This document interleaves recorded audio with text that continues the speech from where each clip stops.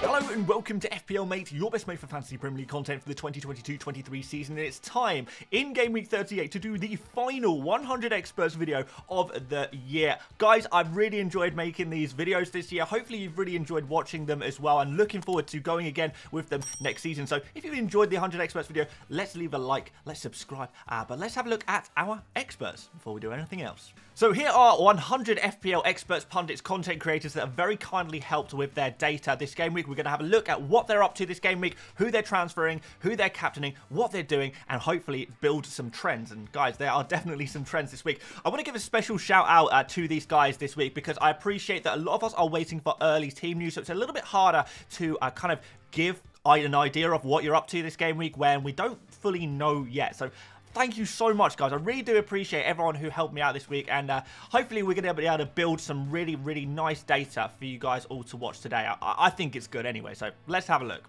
So in general, 50% are making just one transfer, 38% are making two transfers, 6% are making three transfers, so don't worry, guys. There will be a few people taking hits this week, so if you are feeling that you maybe wanted to take a hit yourself, then uh, you're not going to be alone. Don't worry too much about that. 6% are actually using their free free hit as well. I can't believe so many people have managed to hold on to their free hit to this stage of the season, but apparently they have. And 0% not making a transfer at all. It's definitely a week to make at least one transfer, guys. I mean, use it or lose it. It's not like you can roll it on to game week one of the following season. So use that transfer, guys. Um, but yeah, it's in general, a lot of transfers being made. I imagine there might be a few more by the time we hit deadline as well. But we've still got enough data here to uh, build some general trends, which I think you guys are going to appreciate.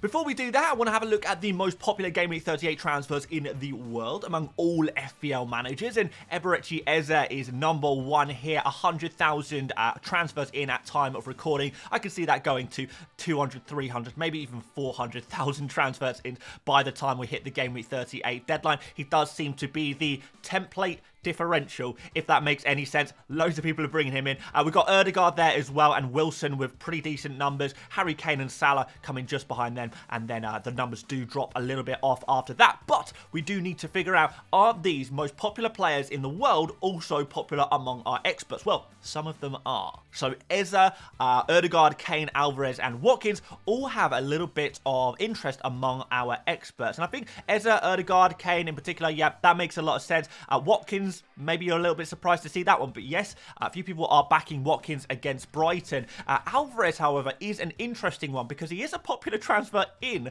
among our experts, but he's also a popular transfer out. So we're going to have a look at the in and out data in uh, just one moment. But I just thought that was kind of interesting. Some people bringing him in, some people taking him out. People can't really make their minds up of whether Alvarez is a good pick or not. But anyway, uh, with that said, well, there are a few players here that are not being transferred in by our experts at all. And they are Wilson, Luke Shaw, Trent Alexander Alexander-Arnold and Bryan and Mbeumo with uh, Salah, Alisson and Saka kind of garnering a tiny bit of interest, but nothing significant. But yeah, Wilson, no one's bringing him in. In fact, he is being sold. We're going to see that in a second. People are actually selling Wilson. They are not interested in him for the final game week of the season against Chelsea. Maybe a little bit of a dead rubber game, a 1-1 kind of fixture. And Wilson, you never know how many minutes he's going to get, particularly in a meaningless game now that, uh, that Newcastle have secured top four. Uh, we've got Shaw and Trent Alexander-Arnold, and you guys are going to see very shortly that our experts are not interested in making transfers in defenders at all. So, you know, if you've got Shaw, if you've got Trent already, great, keep them. If you don't have them yet, uh, it might be just a time to just pretty much ignore them. Uh, but maybe maybe an exception with Trent because obviously he has that attacking threat. But in general, I think we want to be looking at attackers. And no one's going for Mbeumo, maybe because he's playing Man City. I guess that kind of makes sense. But uh, let's have a look at some transfers out among our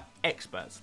So, um, would you believe it? A fully fit Erling Haaland is the most popular transfer out of the game week among our experts. A lot of people not really fancying him against Brentford, and I find that crazy. I mean, let's be honest, 29 out of 94 transfer making uh, kind of experts is not like a huge amount. That's still like you know, 61 probably keeping Haaland and 29 selling him. Like, you know, it, is that even right maths? No, it's it's not even the right maths.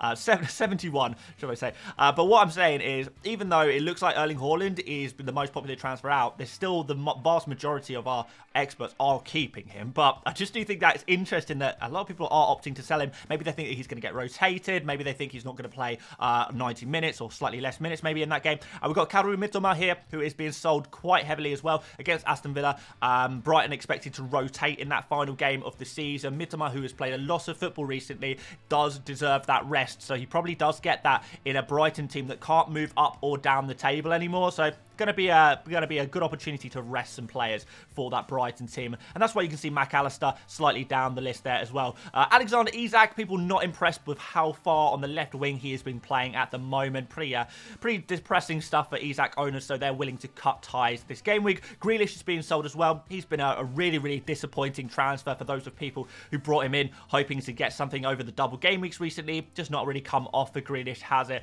Uh, we've got Bruno Fernandes, a couple of people selling him. Mahrez is well. And then Martinelli injured, a couple of people, Alvarez, Willock, you know, some just some uh, general players that not too many people own, but maybe they're willing to sacrifice there. But Erling Haaland, main transfer out, closely followed by Kaoru Mitoma, and Isak is there and thereabouts as well. In terms of transfers in, uh, this starts to make a little bit more sense as to why Erling Haaland is being transferred out, and that's because people are transferring in Harry Kane, Mr. Harold Kane himself, potentially his final ever game for Tottenham Hotspur, and a player who has been in scintillating form all season, and nobody's really noticed because he's not Erling Haaland, but guys, I want to know actually in the comments how many goals this season do you think Harry Kane would have got if he was playing in that Man City team instead of Erling Haaland? I think Kane could you know, genuinely have just as good a season as Haaland if they if he had the same kind of team around him because Kane's team around him really has not been too good. But regardless, he's got a final game of the season against a really leaky Leeds team that are probably gonna get relegated potentially there,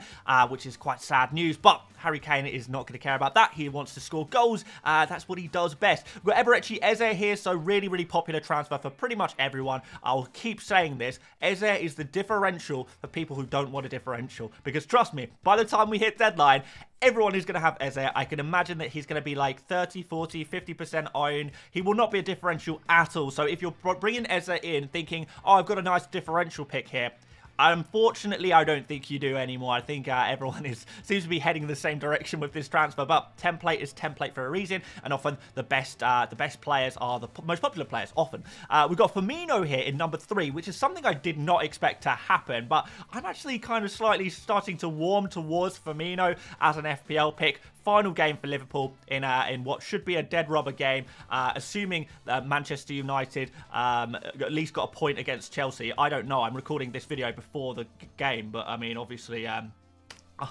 yeah, by the time this video comes out, you guys will know the Man United Chelsea result. So, you know, maybe I'm just chatting absolute waffle right now. But yeah, if it's a dead rubber game, Firmino probably plays in that. Uh, we could get a little bit of rotation there among the Liverpool players. And we've got Dwight McNeil, so long as he's not playing left back and Everton don't play too defensively, maybe he could get something there. Odegaard, we've got Trossard here and Jesus actually. So actually, genuinely, a few people opting for Arsenal players against Wolves. Actually kind of like that. And I think the Arsenal players is probably more the differential direction to go if you want to go that way. Like I said, a few people bringing Alvarez. We've got Vardy in here as well. That's an interesting one. Harvey Barnes, uh, Doucouré there, another Everton player uh, to try and attack Everton versus Bournemouth in that final uh, game to hopefully save Everton from the drop.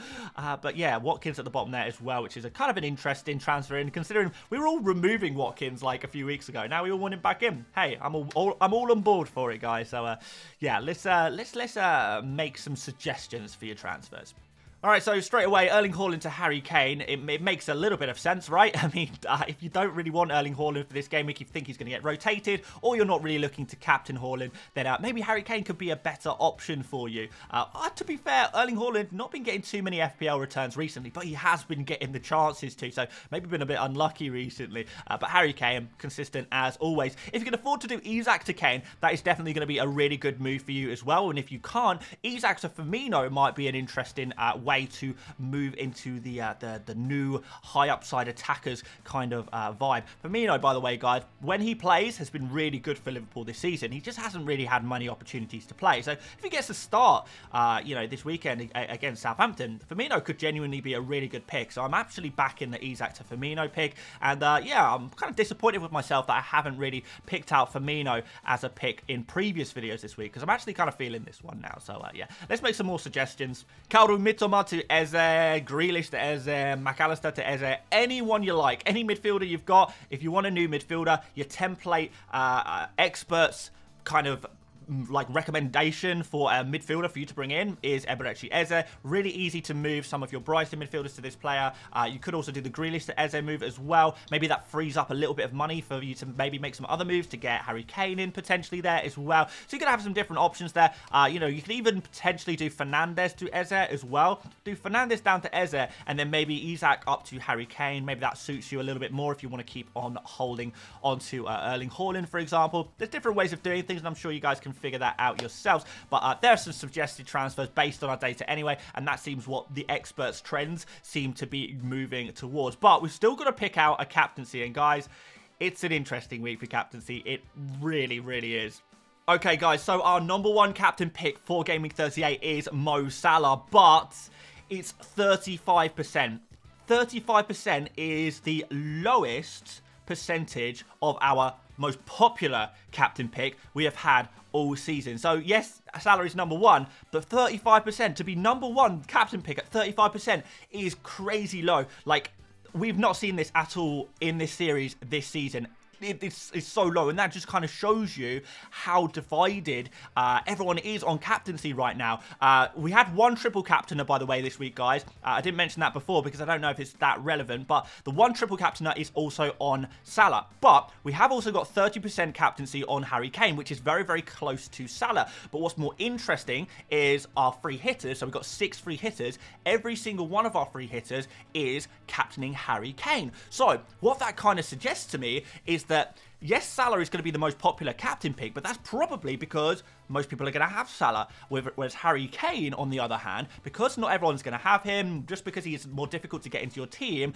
he's going to naturally have lower captaincy rates. But I do actually think that although it looks like Salah is the best captain based on this data, I think if you look at kind of behind the curtains a little bit, maybe Harry Kane is the best captain option so long as you have him. But if you can't get to him, that's fine. Salah's a really good alternative to that. Now, Erling Haaland is down at 15%, which is super, super low for him. But still, you're always going to have a decent amount of people backing him. But there's a real drop-off between Salah, Kane, all the way down to Haaland at 15%. After that, we've just got a bunch of random players, really. So 4% on Eze, 2% on Fernandes, 2% on Bobby Firmino, 2% on Odegaard, 2% on Trent Alexander-Arnold, 2% on Jamie Vardy. Where's that one come from? Hey, if you're back in Leicester to do the business against West Ham, I don't mind it. But we do have six one percenters, and this is where things do get really, really crazy. So, six of our FPL experts are going for so, so a, a, a, captain that no one else is going for. So, we've got one person on Foden, interesting. One person on Maddison, interesting. One person on Saka, yeah, interesting, but you kind of get it. One person on Son, all right, we're getting a bit wacky here. One person on uh, Ramsey, Jacob Ramsey, Aston Villa. Okay, wait for this one, guys, because we've got one left. One person is captaining Jordan Pickford. And, I, and I, if I'm totally honest about this one, yes, I think Everton probably have the best chance of a clean sheet in game week 38. But I'm not backing this captain at all, and I doubt that this uh, expert is going to go through with this Pickford captaincy. I think they're going to change it last minute because there is no way, there's no way you can seriously captain Jordan Pickford in the final game week of the season. But they did say, in fairness, they're just trying to have some fun and catch up in some mini leagues. And I think that's the case with a lot of people. We are going to see a lot of crazy moves this week. Naturally, we're going to see a lot of crazy hits this week because people are all in different situations. Some people are trying to protect their rank. Some people are trying to chase their rank. And you are going to see some people going for some really wacky things to try and make some ground. Now, Actually, if you are someone who is happy with your rank or is just looking to gain a little bit of rank, I think going template and going safe actually could be the answer. And just depend on other people, uh, like our, our good friend Captaining Pickford, count on those people around you making mistakes, and therefore you might be able to uh, capitalise on that. Now, uh, if Pickford uh, gets a penalty save and a clean sheet, then maybe I'll eat my words on that one. But Salah, Kane, Erling Haaland are your main captains for this game week, and but we have got a decent amount of differential captains that you might be interested in too. And that is it for the season in terms of 100 experts videos. We've still got a couple more videos to come uh, before the season ends. Don't worry about that one. But yeah, there we go. 100 experts, 38 episodes, I think. Uh, crazy stuff. Hopefully you've enjoyed them. If you have, please do drop a like. It does mean a lot to me. Let me know what you thought about this series so far this year. And also let me know if there's any changes you would like to see to the 100 Experts uh, series that you'd like to come in from next season onwards. Because I'm looking to uh, make a couple of changes to try and keep things fresh, but also improve things for you guys going into the new year. But aside from that, guys, I will see you tomorrow for my team selection video for Game Week 38. And until then, I will see you later, mates.